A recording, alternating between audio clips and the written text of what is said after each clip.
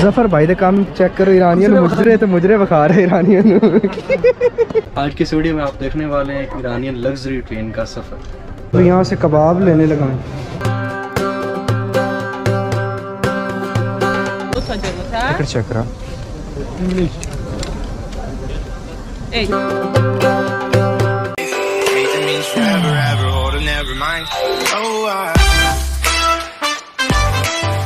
welcome to another blog अच्छा scene ये था कि हम ब्लॉग को यहाँ से क्यों आगाज़ कर रहे हैं? तो हॉस्टल वालों ने हमारे साथ थोड़ा पंगा कर रखा है भाई। तीन सौ बीस फाइनल हुए हैं दस ज़्यादा मांग रहे हैं। खैर फाइनली हम लोग हॉस्टल से बाहर निकल आए। हमारी डन हुई तीन सौ बीस तुमान में दो रातें। तो वो कहते दस दस हमें और दो दस दस तुमन दस हज़ार तुमन यानी कि एक एक बंदा। तो पासपोर्ट नहीं दे रहे थे पैसे जो जो फाइनल थे वो हमने दे दिए फिर भी पासपोर्ट नहीं दे रहे थे ना। तो इसलिए दोबारा उनके पास गए। अभी यहाँ से हम टैक्सी पकड़ेंगे, सीधा रेलवे स्टेशन की तरफ़ जाएँगे। आज की इस वीडियो में हम सफ़र करने वाले हैं जी। ईरान की जो सबसे लग्जरी ट्रेन है ना भाई साहब, जो सबसे वीआईपी ट्रेन है, उसमें जाने लगे हैं। तो व्लॉग को एंड तक ज़रूर देखिएगा, क्योंकि आज मशर से तहरान की तरफ़ जाने लगे हैं और जो टोटल फासला वो तकरीबन 900 किलोमीटर का है। ये वाले जी स्ट्रीट है ना, ये सारी होटल और हॉस्टल की और यहाँ पे ज़्यादा पाकिस्तानी स्टे करते हैं। और वो तकरीबन एवरेज जो है ना, सस्ते मिल जाते हैं, बाकी शहर की नस्बत। और इस इलाके को वैसे भी तो ईरान का पंजाब कहा जाता है। इस इलाके को यहाँ पे सारे पंजाबी आते हैं। ये छोटी छोटी शॉप हैं भाई साहब, जिनके पास परफ्यूम और दीगर कामों का जो धंधा करते हैं। लेकिन इनके साथ साथ इनका एक और चक्कर भी होता है और वो होता है करेंसी चेंज का। ये लोग वो भी काम करते हैं। सामने नान भाई आप देख सकते हैं सारे जो है ना, वो ज़्यादातर आपको पाकिस्तानी मिलेंगे। क्योंकि सामने होटल वगैरह आ जाते हैं तो वहाँ पे इस जगह पे वो स्टे करते हैं। हम यहाँ से ना सूरजमुखी लेने के लिए आए ईरानी बड़, बहुत बड़ी होती है और मशहूर भी काफ़ी है। तो ये इनकी मेवा जात की शॉप है। से। हाँ। तो फारसी में इसको तुखम बोलते हैं। अब ये देखें गरी वगैरह। यार ये चीज़ मुझे बड़ी ताज्जुब करती है। ये देखा आपको लेमन के छिलके मिल जाएँगे काटे हुए। ये आम के छिलके हैं भाई साहब। और सुखे बेर भाईजान हमें तीस तुमान की ये मिल गई है भाई साहब। तकरीबन पाकिस्तानी ज़्यादा से ज़्यादा किया डेढ़ सौ रुपये में। ये खुश्क अनार है भाई साहब। मैंने सोचा कि खजूर ले लेते तो बीस तुमान की मैंने उनको बोला खजूर काफ़ी मिल जाएगी।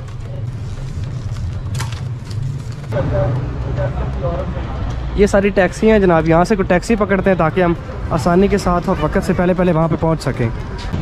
बीस तुमान दो नफरी। तुमान दो नफरी। हाँ ठीक।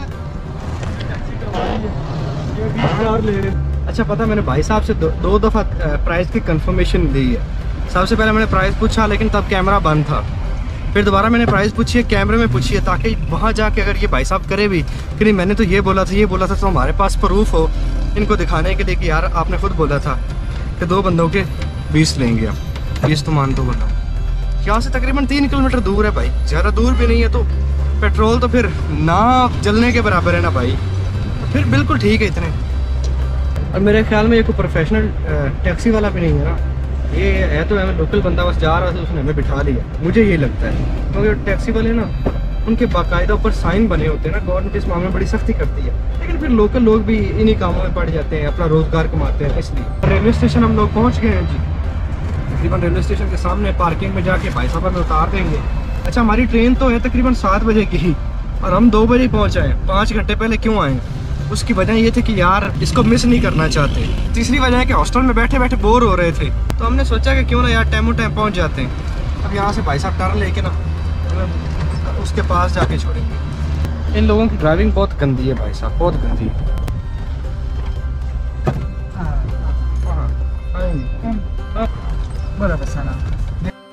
ये जी सामने रेलवे स्टेशन रहा और ये कुल्ली है भाई साहब ये जो आपको वर्दियों वाले नज़र आ रही हैं कुल्ली हैं और हमारे वाले नहीं, जो सिर पे पगड़ी रखी हुई थी, बस वो कुल्ली है जी।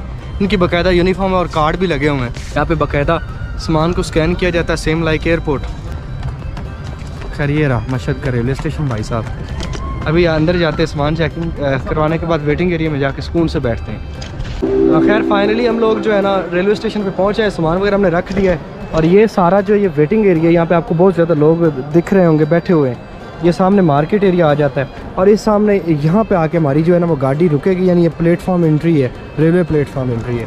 तो ये अनाउंसमेंट हो रही पीछे, और ये फारसी में हो रही है। कुछ समझ नहीं आने वाली आज।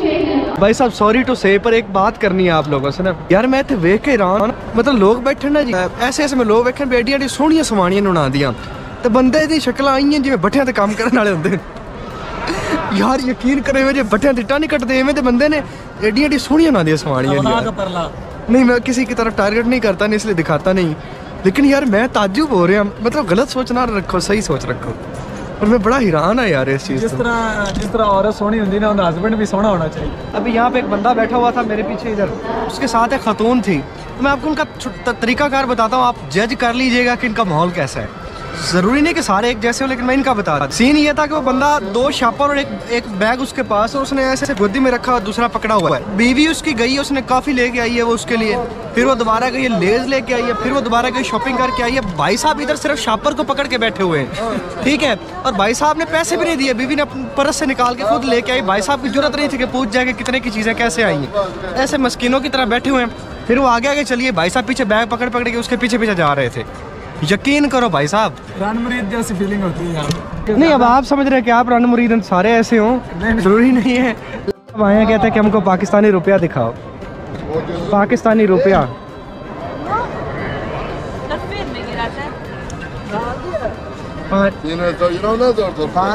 पाँच हज़ार रुपया।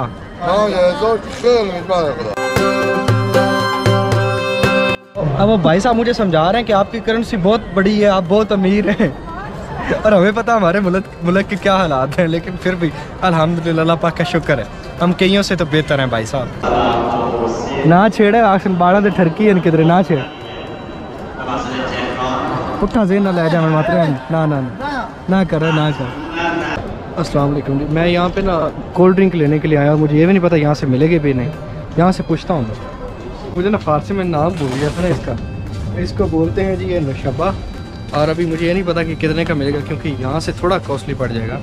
वैसे एवरेज तौर पे तो तकरीबन दस बारह तुमान में मिल जाता है ये।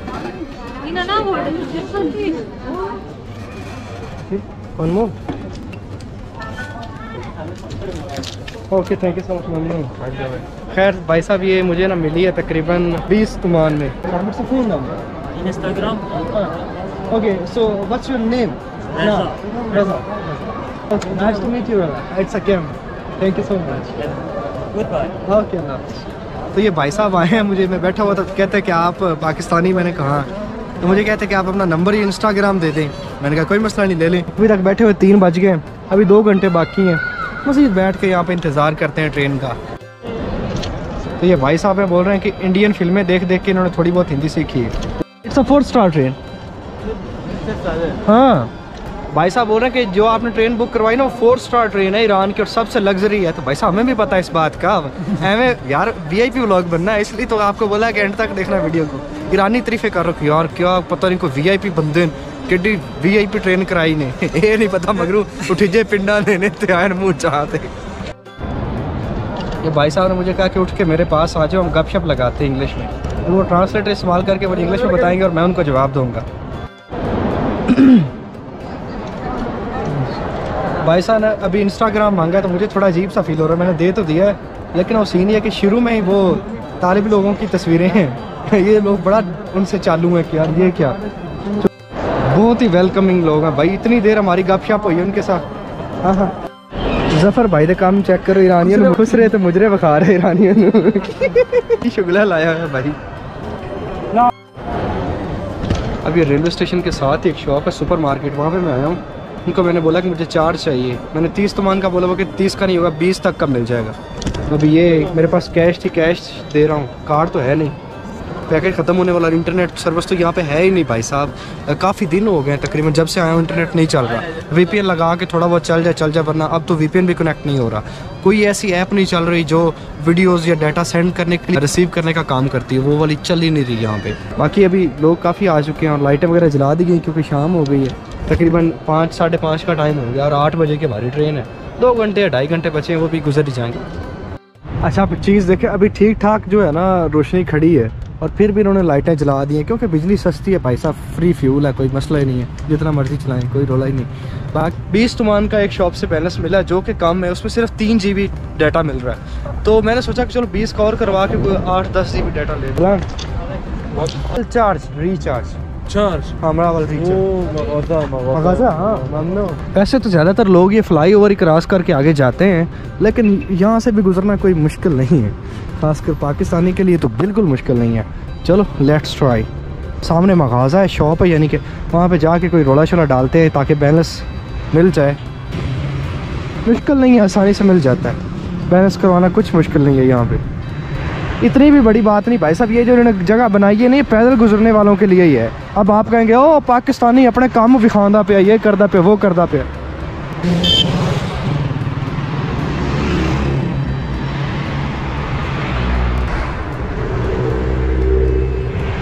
खैर फाइनली मैं गुजर गया हूँ भाई। अभी यहाँ से भी एक दफ़ा पुलिस रात गुजरना बाकी है।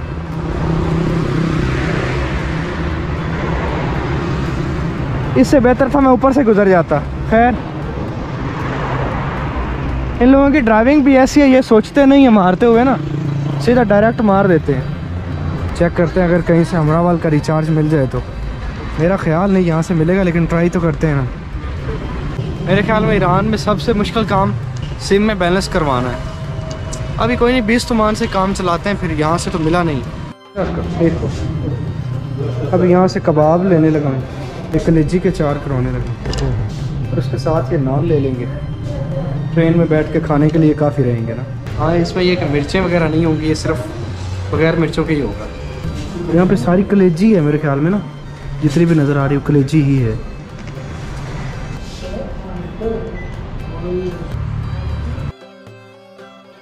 फिर ये सामने, रेलवे स्टेशन है।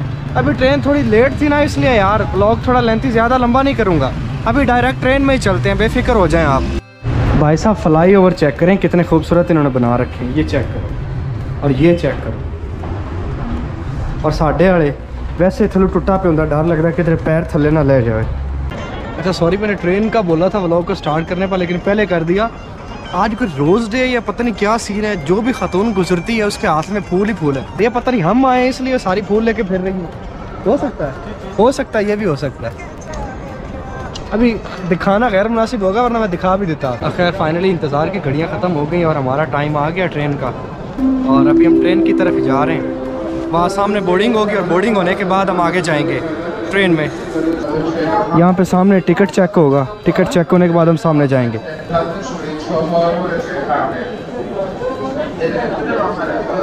अभी यहाँ पे काफ़ी रश है। रश में लगे हुए हैं।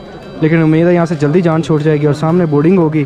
बोर्डिंग होने के बाद टिकट चेक करवाने के बाद हम सीधा आगे चले जाएँगे। वो सामने प्लेटफॉर्म की एंट्री है। वो सामने रही। और मेरे ख्याल पता नहीं पासपोर्ट वगैरह भी चेक करेंगे या नहीं शायद। अभी खैर भाई साहब बोर्डिंग होगी हमारी। ठीक हो गया। बोर्डिंग के बाद हम ट्रैक पे जाने लगे चार नंबर ट्रैक है जहाँ पे हमारी ट्रेन ने आना है। ट्रैक पे जाने के बाद हम सीधा जो है ना, अपनी कोच में जाके बैठेंगे। चार नंबर। अब हमारे यहाँ तो फ्लाई ओवर बना होता ना। और लोग फ्लाई ओवर से नहीं गुजरते, वैसे इधर से भाई भाग जाते हैं आगे ना। खैर, हम लोग जो है ना, ये वाला सीन करने लगे आज। यानी अंडरग्राउंड से नीचे जाने लगे।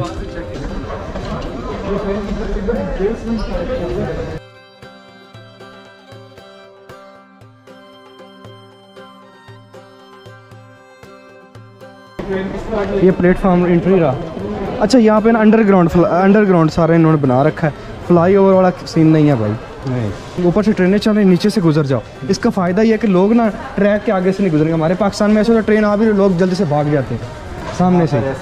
ये ऊपर लिखा खात दो और तीन और हमने चार की तरफ़ जाना है। वहाँ पे खात चार आ। हाँ खाती यानी लाइन को बोलते हैं ना। ये भाई साहब जो है ना ऊपर जा रही स्टेयर जा रही हैं ऊपर। अभी हम जा रहे हैं। ये खात चार चार में। ये आप यहाँ पे आगे ये खड़ी है।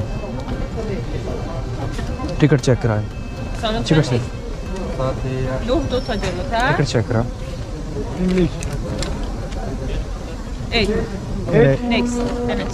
ओके थैंक यू भाई साहब ये सामने हमने आगे जाना। आप चेक करें नीचे क्लीन बिछाए हुए उन्होंने ना। Eight number.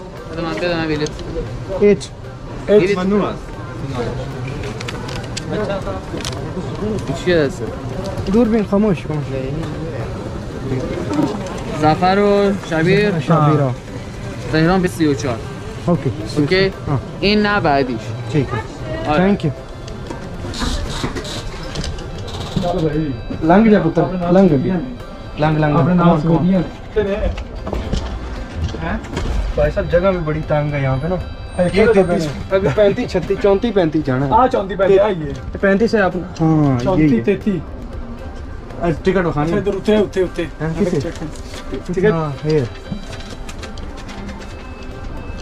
ये वाला कैबन है भाई साहब हमारा मेरे ख्याल में। की होना और कोई ना ये फोर स्टार लग्जरी ट्रेन है।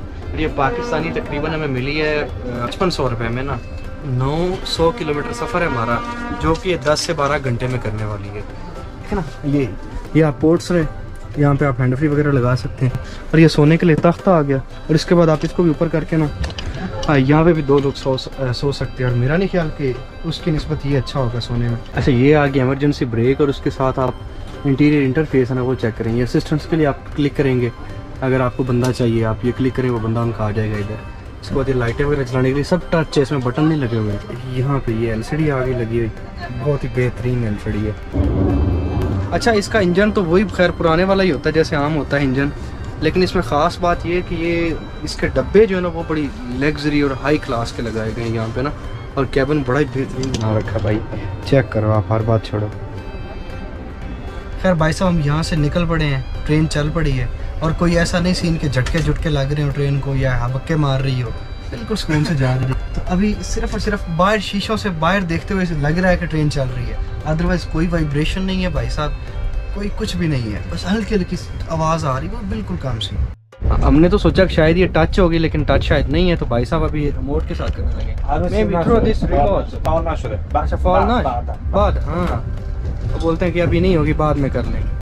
अच्छा भाई साहब, अभी तकरीबन 15 से 20 मिनट हो चुके हैं और ठीक ठाक स्पीड में जा रही है ये। लेकिन अभी तक जो है ना, आप ये सीन चेक करें मशहद शायर मशहद शहर जो अभी तक जो है ना एंड नहीं हुआ। अब आप कहेंगे रात का टाइम है भाई, हो सकता है और शुरू हुआ होता है भाई मुसलसल वही जा रहा है। गूगल मैप पे भी चेक करके देखा है मशहद में ही हम। हैं जबकि 15-20 मिनट से ट्रेन स्पीड के साथ जा रही है।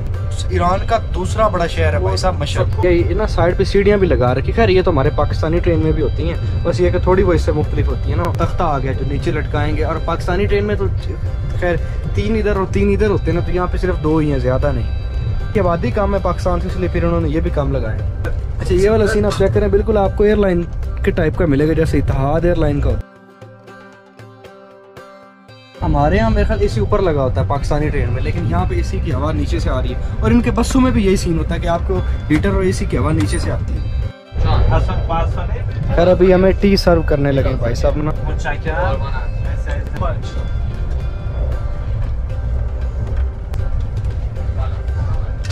खैर, अभी ये देखें जी, ये आ गया इनका कावा और ये इसके साथ शुगर आ गया, ये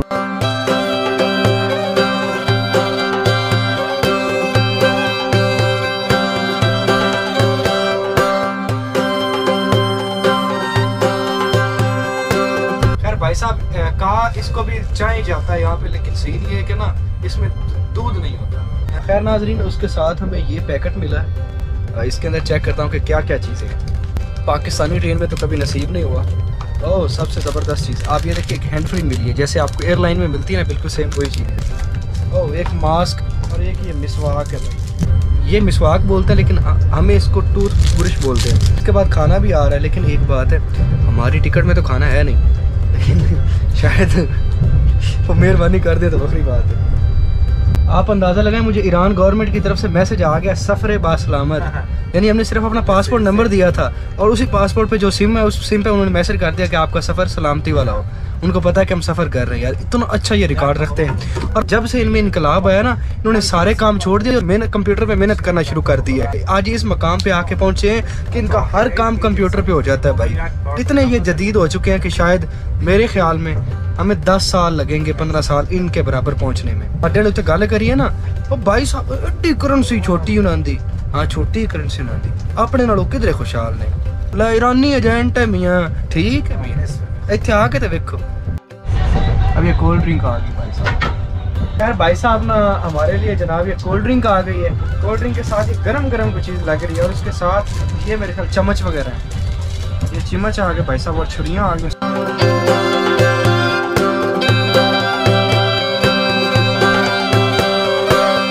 उसके साथ ये बीट टिश्यू भी हमें मिल गया ना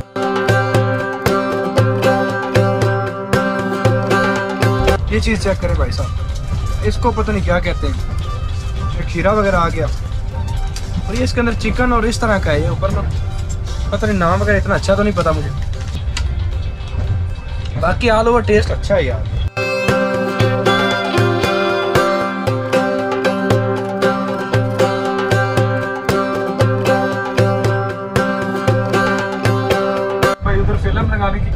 भाई साहब, ये फ़िल्में चलाने लगा हूँ और अभी ये रिमोट जो है ना, इसके सेल ख़राब है और अट गया यहाँ पे।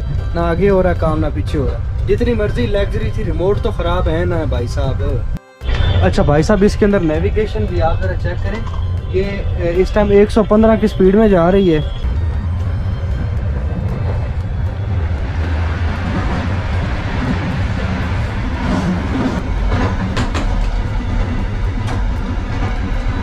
चेक करें। काफ़ी नीट एंड क्लीन इनके वाशरूम है भाई साहब। सारा हिस्सा काफ़ी नीट एंड क्लीन है। वाकई यहाँ हमारी वाली ट्रेन से काफ़ी हद तक बेहतर है। यहाँ पे सोप रखा हुआ है। अच्छा भाई साहब, यहाँ पे टूटी नहीं लगी, बल्कि ये दो बटन लगे हुए हैं। एक बटन से फ्लैश और दूसरे से ये पानी आता है। खैर, ये जी बैग है नाजरीन, इसको खोल के इसमें से कंबल निकालनी होगी। और कंबल भी बिल्कुल फ्रेश होगी पैक की हुई और धोई हुई। ये नहीं, आपको पुराने वाली मिल जाए। देखिए पैकिंग की हुई ये ये ऐसा पुल करेंगे। और ये नीचे आ जाएगा। और ये इसको ऐसे उठा देंगे ताकि बंदा गिरे ना। खैर, हमारे वाले में ये तो हमारे वाले में भी यही सीन होता है। अभी एक तकिया जो है छोटा, ये वाला हम इधर रख लेते हैं इसको उनके साथ। ये तकिया आ गया जी। क्या लेवल है यार। और ये सीढ़ियाँ चढ़ के आप इजीली ऊपर जा सकते हो। और अच्छा स्पेस भी काफ़ी ज़्यादा है। ये नहीं है कि हमारे वाले तीन होती हैं ना, वो दरमियान वाला बंदा ज़्यादा तंग हो जाता है। इधर भाई साहब स्पेस भी काफ़ी दे रखी है कि आप इजीली यहाँ पे सो सकते हैं। कोई मसला नहीं है। बड़ा पोला पोला सीन ना। ये वाला। और ये विंडो भी खोल रखी है भाई साहब ने ना। थोड़ी थोड़ी बाहर से हवा भी अच्छी खासी ठीक ठाक आ रही है।